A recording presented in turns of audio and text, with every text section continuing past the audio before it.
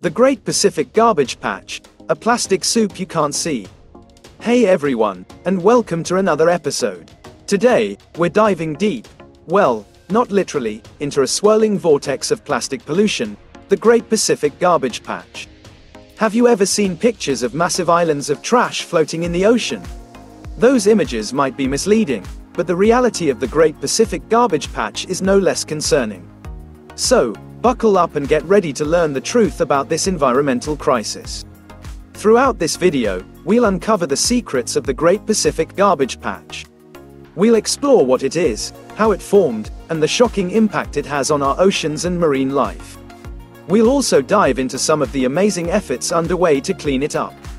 By the end, you'll be equipped with the knowledge to take action and help protect our precious oceans. So, what exactly is the Great Pacific Garbage Patch? Unlike those sensationalized images, it's not a solid mass of trash. Instead, imagine a giant soup of mostly microscopic plastic particles swirling in the North Pacific Ocean. These tiny bits of plastic come from various sources, like broken down bottles, shopping bags, and even synthetic clothing fibers. Here's the mind blowing part studies suggest there are actually more plastic pieces than plankton, the tiny organisms that form the base of the ocean's food chain, floating in this patch. That's a scary statistic, and it highlights the vastness of the problem. But how did this plastic soup even get there? The culprit is ocean currents. The North Pacific Gyre, a system of rotating currents, traps debris in its center. Over time, with plastic pollution constantly entering our oceans from land, the Great Pacific Garbage Patch has grown to an estimated size of 1.6 million square kilometers. That's roughly three times the size of France. The consequences of this plastic pollution are devastating. Marine animals often mistake plastic for food, leading to starvation and internal injuries.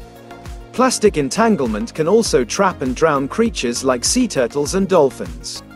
The plastic even breaks down further into microplastics, which can enter the food chain and potentially harm human health.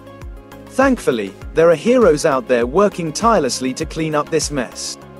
Organizations like the Ocean Cleanup and Ocean Voyages Institute are developing innovative technologies to capture and remove plastic from the ocean. These efforts offer a glimmer of hope for the future of our oceans. But cleaning up the existing plastic is only part of the solution. We need to prevent more plastic from entering our oceans in the first place.